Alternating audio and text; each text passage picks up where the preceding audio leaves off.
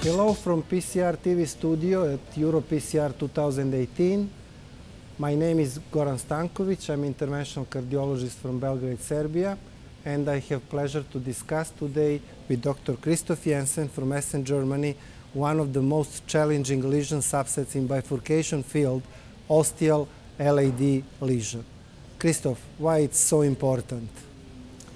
Um, hello, Goran. Thanks for, for asking this question. It's basically it's a bifurcation involving the left main.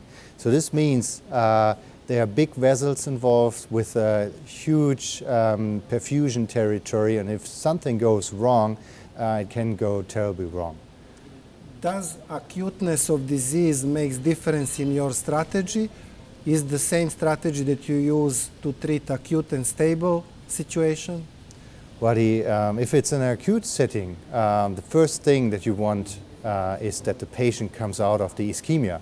So you have to treat uh, fast and quick and safety. Um, so um, it is, uh, it has to be uh, approach that you're really familiar with. In general, there are two options. One is crossover, the other one is precise stenting. From your huge expertise, how would you recommend to approach that kind of lesions? Well, in my experience and, and looking at the data, the, uh, the ostial LAD lesion typically involves left main. Um, and the lesions or the angulation of the left, uh, left anterior descending um, that really permits a precise stenting of the left uh, anterior descending ostium are very seldom. So um, um, you have to make sure that if you stent the LAD ostium alone, that you cover the lesions.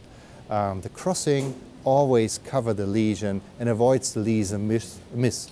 Um, and especially when we look at the newer generation of drug-eluting stents, it's a safe approach. Uh, it seems that imaging could help a lot to determine proper strategy, especially if we were trying to plan something precise. We need to exclude presence of disease in the left main. Do you recommend routine imaging, IVUS or OCT? Well, it always depends on the setting. If it's an acute setting, then as I told you before, it's uh, more getting the patient uh, safe from the table uh, and, um, and, um, uh, uh, and treat the ischemia. So in this setting, I typically do not do any imaging at all. Uh, I just presume that the left main is involved. But if it's a stable situation, sure, this gives you time to look precisely at the angulation, look precisely at the plaque lesion distribution. And in case that there is no disease present inside the left main, how would you plan strategy of precise ostial LAD stenting? Well, if you're, if you're sure that the left main is not diseased, um, then it depends on the angulation of the left anterior descending.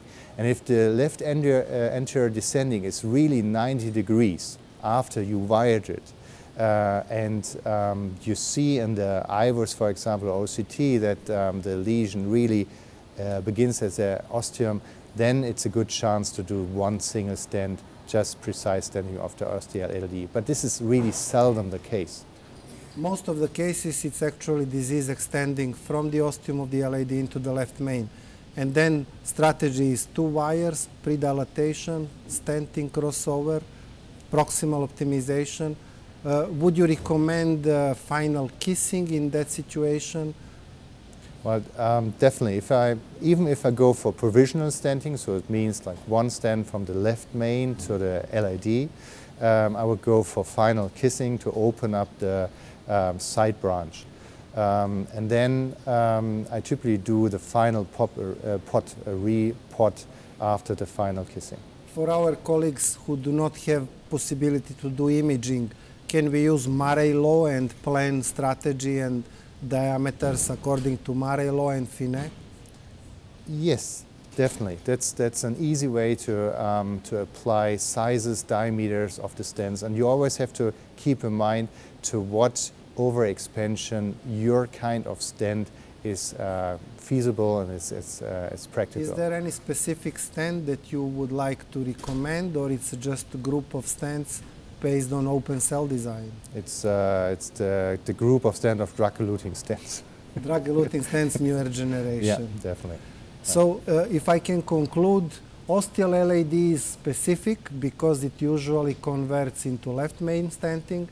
We need to understand the rules of geometry, difference in diameters proximally and distally, inside the left main and inside the ostium LAD.